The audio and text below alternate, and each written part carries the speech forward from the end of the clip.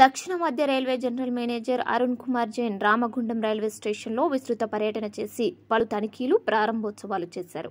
ఈ పర్యటనలో భాగంగా అధికార బృందంతో కలిసి ప్రత్యేక రైలులో రామగుండం రైల్వే స్టేషన్కు చేరుకొని లోకో విశ్రాంతి భవనంలో ప్రత్యేకంగా నిర్మించిన మహిళా లోకో పైలట్ నూతన గదులను ప్రారంభించారు. అనంతరం చిల్డ్రన్ పార్కు ఓపెన్ జిమ్లను ప్రారంభించారు. సిఎన్డబ్ల్యూ డిపో ఆవరణలో మొక్కలు నాటారు. జీఎం నూతనంగా నిర్మించిన ఆర్ఓహెచ్ డిపో కాన్ఫరెన్స్ హాలును ప్రారంభోత్సవం చేసి వర్చువల్ పద్ధతిలో ఆన్లైన్లో రిమోట్ ద్వారా సుల్తానాబాద్ మెట్టుపల్లి రైల్వే మార్గంలోని బ్రిడ్జిలను ప్రారంభించారు.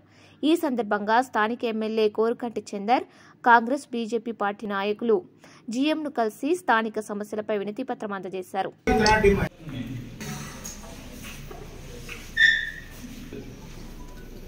I have twenty-seven.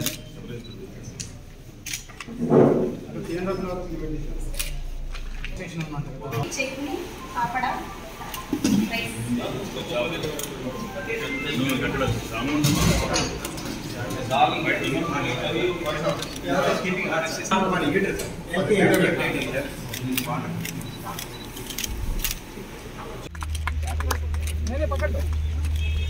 sir sir एक मिनट एक मिनट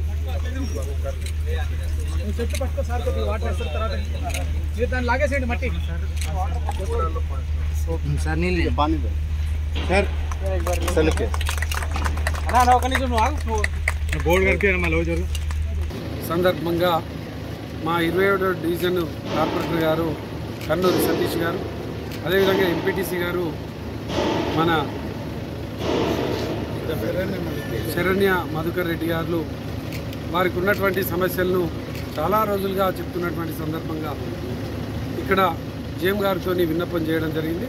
ప్రత్యేకంగా రైల్వే స్టేషన్లో టాయిలెట్స్కు ప్రయాణికులు అనేక ఇబ్బందులు పడుతూ ఉన్నారు. అదేవిధంగా కుందరపల్లి బ్రిడ్జి అక్కడ రైల్వే గేటుకు సంబంధించి ఇబ్బందులు పడుతూ ఉన్నారు. అదేవిధంగా పెద్దంపేట ఆర్ఓబి నిర్మాణం చేయాలని ఇబ్బంది పడుతూ ఉన్నారు. అదేవిధంగా ఇక్కడ చాలా ఎక్స్ప్రెస్ రైళ్ళు ఇక్కడ మెడికల్ కాలేజ్ అయింది. ఇక్కడ ఈ పట్టణం అనేక విధాలుగా అభివృద్ధి చెందింది. ఇక్కడ ఈ యొక్క అన్ని ట్రైన్లు ఆగడం లేదు. ఆ ట్రైన్లను ఆగాలని కూడా కోరడం జరిగింది. అదేవిధంగా ఇక్కడ ప్రత్యేకంగా ఆటో డ్రైవర్లకు సంబంధించి అనేక సమస్యలు కండ్ల ముంగట చాలా రోజుల నుంచి ఇబ్బందులు పడుతూ ఉన్నారు. కనీసం పార్కింగ్ చేయడం కోసం కనీసం ఇక్కడ షెడ్ లేక ఇబ్బందులు పడుతూ ఉన్నారు. అందుకోసమే వీటన్నిటిని కూడా ఆటోలు గతంలో లోపల పెట్టుకున్నది ఇలా రోడ్డు మీద పెట్టుకోవాలని ఇబ్బందులు పెడతా ఉన్నారు. ఇటువంటి ఇబ్బందులు అన్నిటిని కూడా జీఎం గారి దృష్టికి తీసుకుపోవడం జరిగింది. స్థానిక కార్పొరేటర్ గారు ఎంపీటీసీ గారు మేమందరం ఖచ్చితంగా వాటిని పరిష్కారం చేయాలని మేము ఈ సందర్భంగా ప్రత్యేకంగా డిమాండ్ చేస్తా ఉన్నాం.